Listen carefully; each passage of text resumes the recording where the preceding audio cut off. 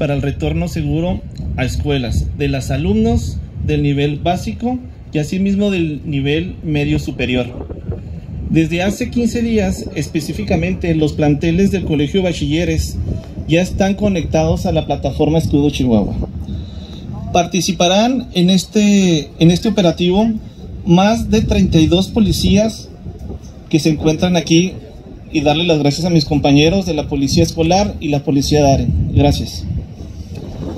Cuyas actividades se, se dividen en turnos diurnos y nocturnos.